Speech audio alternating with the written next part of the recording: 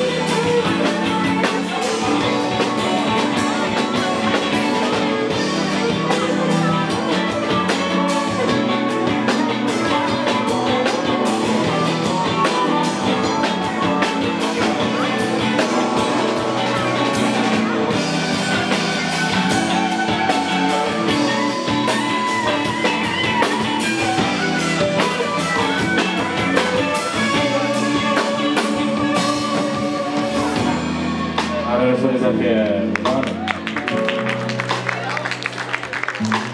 Selain main gitar dia bikin LRT loh.